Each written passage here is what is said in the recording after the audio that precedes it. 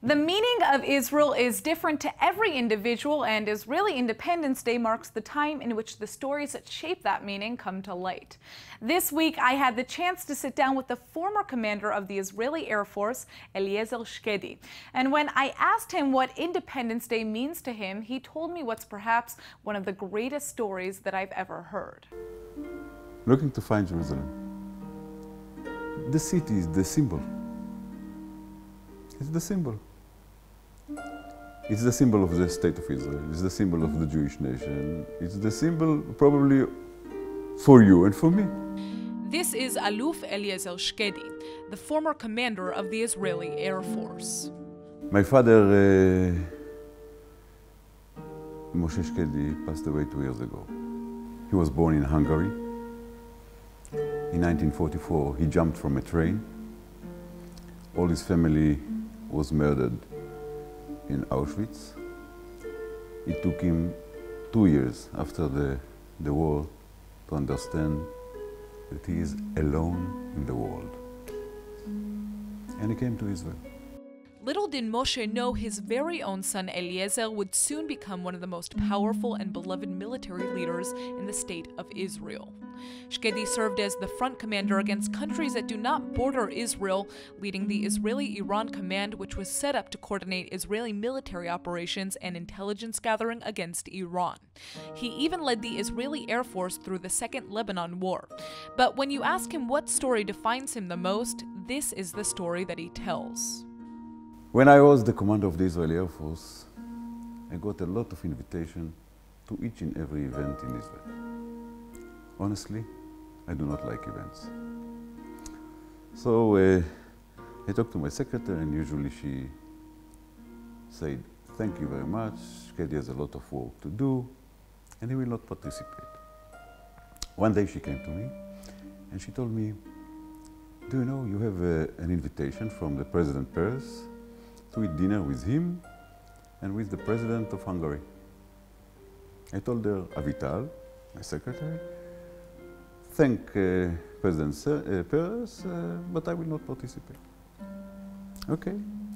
A couple of weeks later, when we talked about the next week, she told me, you know, next week you have a dinner with President Peres and with the President of Hungary. I told her, how come? Didn't I tell you to cancel it? She told me, I thought you were doing a mistake. I didn't cancel to me. Now I had two alternatives. The first one is to kill her. The second one is to think maybe she's right and I'm wrong. And I realized that probably she's right. So I told her, you know, call the president office and tell them that uh, I will come and I would like to bring my, father with me. She called and she said, of course, President Peres, uh, would like to invite your father as well.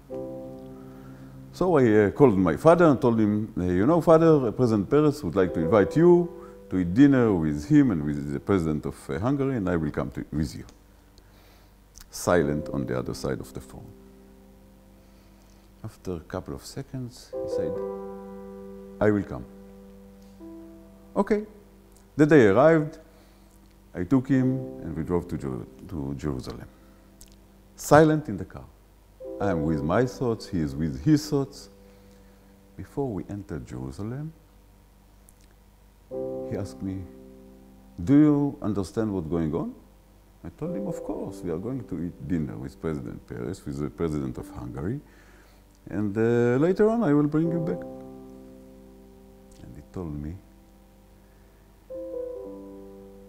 You understand nothing since I'm, I'm talking to the Jewish people all around the world, probably all the people will understand, it was like Haggadah Shel Pesach and Chad. What it means, he said, I, Moshe Shkedi, is going to Jerusalem, the capital of the state of Israel and the capital of the Jewish nation, from the beginning. I, Moshe Shkedi, is going to the Jerusalem. I am going to meet President Peres, who is the president of the state of Israel and of the Jewish nation. From the beginning, I, Moshe Shkedi, President Peres, I'm going to this meeting with my, with my son, who is the commander of the Israeli Air Force and the commander of the, the um, uh, Jewish Nation Air Force. This is the title that he gave to me. And then he said, from the beginning, Moshe Shkedi, President Peres, my son, I am going to meet the president of Hungary that 65 years ago, the value of my life was less than the value of a dead dog. From the beginning, Moshe Shkedi, President Peres, my son, the value of my life. And the president of Hungary does not know yet that he is going to apologize. And then he reached the end and he said, Do you know, if someone would have asked me 65 years ago to dream the most amazing dream, the most unbelievable dream that you can imagine, no way that I would have dreamed something even close to this situation. And he's right. This is uh, the meaning of proportion. This is the meaning of optimism. And I honestly very optimistic about the state of Israel and the Jewish nation. And this is the story of inventing Israel day after day after day.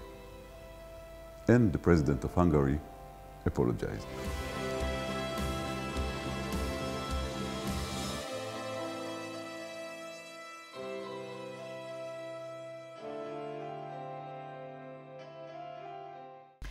Today, you may not find General Eliezer Shkedi cruising the skies of Israel anymore, but he's as active as can be. For a while, he became the CEO of El Al, the flagship airline of Israel, but today he serves as an advisor to 10 different nonprofit organizations in the Holy Land. After all, he'd probably be the first one to say that the sky is never the limit.